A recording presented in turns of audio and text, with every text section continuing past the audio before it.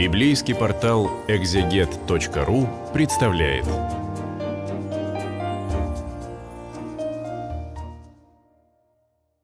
Четырнадцатая глава книги Откровения Анна Богослова. Э, читаю я перевод Международного библейского общества для библейского портала «Экзегет». 12-13 знаменитые образы женщины, одетой в солнце, дракона, который с ней сражается, зверя, который выходит из моря, от числа зверя 666, которое должно быть нанесено на руку или на лоб. И мы еще говорили, что многие видят в этом там паспорт, ИНН, штрих-код, но это э, не про внешние же проявления, да, не про то, что вот как-то оно должно выглядеть похоже на три шестерки, которых тогда не было, просто что цифра 6 еще не существовала, арабская цифра. Но э, в любом случае это про то, что с церковью воюет сатана и воюет некий зверь, в котором, э, мне кажется, логичнее всего видеть Римскую империю. Ну и вообще образ такого зверского языческого государства, которое подчиняет силой и которое э, противодействует христианству ровно потому, что христианство порождает новые отношения между людьми, новые смыслы, неудобные для государства. Но э, если почитать 12-13 изолированно, то, в общем, в пору пойти и повеситься, потому что ничего хорошего там нам не обещают. А в 14 обещают уже. Я посмотрел и увидел ягненка. Да, вот после всего этого безобразия. У нас же ягненок как бы закланный, это образ Христа, который с самого начала этой книги присутствует. Ну и что может ягненок, там зверюги страшные э, всех жрут, а ягненок, ну что он такое? Он стоял на горе Сион, и с ним было 144 тысячи человек, у которых на лбу было написано имя ягненка и имя его отца. Ну, как некая параллель, да, на лбу либо число зверя, либо имя ягненка. Понятно, что на лбу люди не пишут свою религиозную или какую-то другую принадлежность, но в каком-то смысле мы говорим, на лбу написано, то есть, ну, сразу видно, да. Я слышал шум с небес, он напоминал одновременно рев водопада, раскаты сильного грома и звук, который производят орфисты, играющие на своих арфах. Они поют новую песнь перед троном, перед четырьмя живыми существами и перед старейшинами, это те, кто окружали трон Божий. Эту песню не мог никто выучить, кроме 140 тысяч искупленных земли. Это были те, кто не осквернил себя с женщинами, оставшись девственниками. Они всюду шли за ягненком, куда бы он ни шел. Они были искуплены всего человечества и освящены как первые плоды для Бога и ягненка. В их словах не нашлось никакой лжи, они непорочны.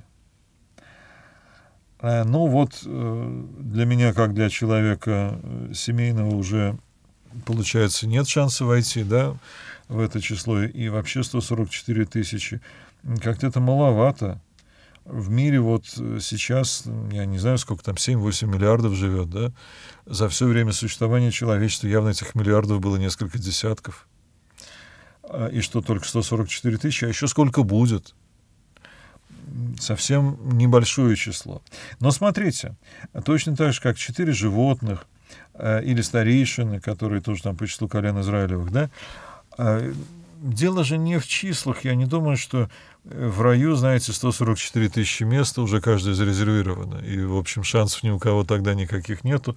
Да изначально их почти не было. Из этих многих миллиардов кто войдет? А скорее, это э, некие символические числа. 144 э, — это 12 в квадрате. Да? 12 — это число полноты Божьего народа. 12 колен Израилевых — и тысяч это много, да, то есть вся полнота вот Божьего народа, который многочислен. И э, они искуплены с земли, они не осквернились женщинами, э, и не нашлось в них лжи, они непорочны, да. То есть вот такой образ чистого человека, причем ритуально чистого оскверниться с женщиной, это, естественно, не э, состояние греха обязательного, но э, вот что-то такое, что они не такие, как все. Э, и в их словах не нашлось никакой лжи. Есть ли такой человек, который ни разу ни в чем э, ничуть не погрешил против истины? Тоже, наверное, не бывает. Я думаю, что это скорее понимается как вот некоторый такой э, образ Божьего народа, который искуплен от земли, и который поэтому абсолютно чист. Но э, что они могут против этого зверя? Ягненок — бессильное существо, существо жертвенное — Потом я увидел еще одного ангела, летящего посреди неба. У него была радостная весть, которая вечна, чтобы провозгласить ее живущим на земле всем нациям, родам, языкам и народам. «Бойтесь Бога», — громко говорил ангел, — «и воздайте ему славу, потому что наступил час суда его. Поклонитесь создавшему небо и землю, море и источники вод». Всего лишь бойтесь Бога. Не берите мечи, начинайте наступление, нападайте на дракона. Это невозможно. Он слишком могуч. Будьте на стороне Бога и бойтесь его. За ним следовал второй ангел. Он говорил, «Пал, пал великий Вавилон.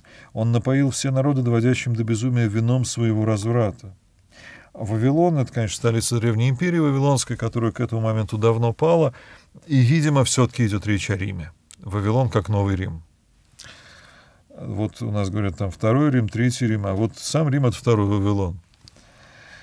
По крайней мере, в книге Откровения. А, и, соответственно, Вавилон, который развращает. Вавилонская империя тоже могучая империя, только задолго до Римской была и гораздо меньше территорию захватила.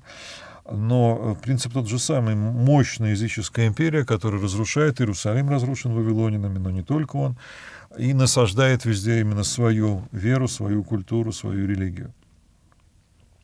Вслед за вторым ангелом проследовал третий ангел. Он громко говорил, «Кто поклоняется зверю его изображению, и кто принимает печать на свой лоб или на руку, тот будет пить вино Божьей ярости, вино неразбавленное, приготовленное в чаше его гнева, и он будет мучиться в горящей сере на глазах у святых ангелов и ягненка». Э, мало приятного, наверное, святым смотреть на людей, которые мучаются в горячей сере. В дальнейшем в Средневековье, конечно, очень любили такие образы, из них разворачивали там всякие развернутые картины, как то, где на сковородке, в котле кипящем и все такое прочее. Но речь, конечно, идет о том, что э, либо у тебя на лбу написано, что ты Божий, либо у тебя на лбу написано, что ты зверя, да? И это, в общем, видно по человеку, по его скорее поведению. Вряд ли имеется в виду надпись, которая там наносится трафаретом, татуировкой или чем-то еще. Можно обратить внимание, что э, питье вина — это, как и у библейских ветхозаветных пророков, скорее признак гнева, а не праздника, веселья, как у нас обычно. Для поклоняющихся зверю его изображению, для принявших печать с его именем, не будет покоя ни днем, ни ночью, и дым их мучений будет подниматься вечно. Здесь требуется терпение от святых, соблюдающих повеление Божье и верящих в Иисуса. Вот э, тоже такое очень жесткое разделение да, на судьбу в вечности. И я услышал с неба голос. «Запиши, с этого момента благословенны те, кто умирает с верой в Господа». Да, говорит Дух, теперь они отдохнут от своих трудов, и их дела следуют за ними. И вот смотрите, э, с одной стороны, э, те, кто не осквернил себя женщинами и ни в чем не соврал, таких людей, ну, немного. А с другой стороны, благословены те, кто умирает с верой в Господа, а вот таких много. И где же, где же тут грань? Можно сказать, те, кто вот э, достиг особой чистоты, они с ягненком в его свите, а те, кто умирает с верой в Господа, просто благословлены. Они не то чтобы в этой свите, но они, в принципе, на стороне ягненка, просто не в его почетном карауле, не в его ближайшем окружении. Может быть и так. Но э, мне кажется, что вот э, Откровение в этом смысле радикальная книга, не только в этом, но и в этом тоже. То есть деление вводится довольно жесткое, на стороне добра, на стороне зла. Серединки нет. Как определить, кто где, там разберутся. Я посмотрел и увидел белое облако. На облаке сидел некто, как бы сын человеческий. Это, конечно, цитата из книги Даниила, 7 глава. На его голове был золотой венец, и в руке он держал острый серп. Затем из храма вышел еще один ангел и громко сказал сидящему на облаке, «Пошли свой серп и пожни, потому что время жатвы уже настало, и урожай на земле уже созрел». Тогда сидящий на облаке бросил свой серп на землю, и на земле был собран урожай. Вот э, о том же самом. Да, наступает какой-то предел, когда подводится всему итог. И важно, где ты окажешься. Потом из небесного храма вышел еще один ангел. У него тоже в руке был острый серп. И еще один ангел вышел от жертвенника, где он поддерживал огонь. Он громко крикнул ангелу, у которого был острый серп, Пошли твой острый серп и собери грозди винограда с виноградника земли, потому что ягоды винограда уже созрели. Там, видимо, пшеница, здесь виноград, две основные культуры, которые собирают. Э, ангел бросил свой серп на землю, собрал виноград и бросил его в великую давильню Божьей ярости. Ну, э, виноград собирают, чтобы вино сделалось в основном, в древности, по крайней мере. Его бросают в давильню или точило на церковно-славянском, где его топчут, и брызги этого сока летят во все стороны. Виноград был потоптан в давильне, которая за городом. Ну, обычно это, конечно, в сельской местности делают. Из нее рекой потекла кровь. Вот этот свежий виноградный сок, темно-красный, как кровь. Эта река крови была длиной в 1600 стадий, по глубине достигала коням до уздечек. А, то есть, ну, на самом деле, не такая уж и длинная, да, это стадия значительно меньше километра, но она еще и достигала до уздечек, и не такая уж глубокая, но если учесть, что это река, состоящая не из воды, а из крови или же виноградного сока, то довольно-таки бурный поток. Что это? А вот наступает время подведения итогов, да? И это время, оно э, имеет какое-то вот измерение одновременно, э, ну, такое насильственное, да. То есть виноград топчет, чтобы получить из него вино. Если его оставить, он просто высохнет, да, и вот его надо срезать, его надо бросить в эту давильную, его надо раздавить, тогда вытечет сок, из него получится хорошее вино. И э, вот это про, про историю этого мира, да, то есть вот нельзя просто взять все оставить. Мы, в общем-то, от Бога по большей части хотим, чтобы Он оставил нас в покое, но только дал нам вот этот самый покой сначала, чтобы удача была, здоровье, относились, чтобы все друг другу хорошо. Ну и, и все, и, и не надо нас трогать. А он срезает, бросает, давит, но потом зато вино получается, потом зато вот эти 144 тысячи куда-то идут. Вот, ох, э, не ждите покоя от книги Откровения Иоанна Богослова. А чего еще ждать? Ну, в 15 главе продолжим.